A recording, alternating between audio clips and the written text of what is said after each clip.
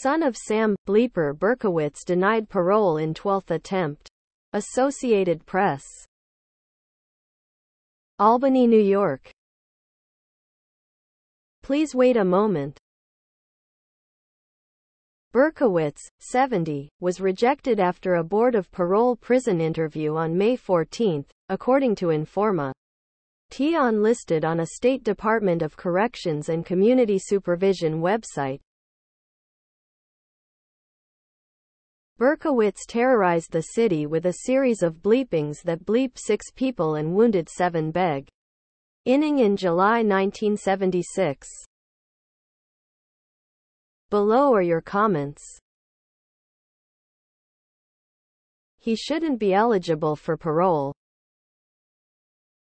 Even so, he should have to face parole for each of his victims. I don't blame the parole board. His is not rehabilitated.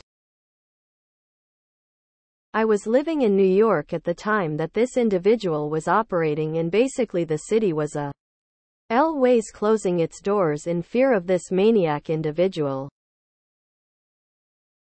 He should never be given parole. Being born again does not relieve you of your past.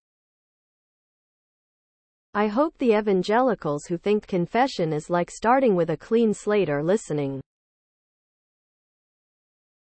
How do you bleep six people and even get considered for parole? Surprised he's still alive. Please subscribe to my channel. And if you like it, please thumbs up.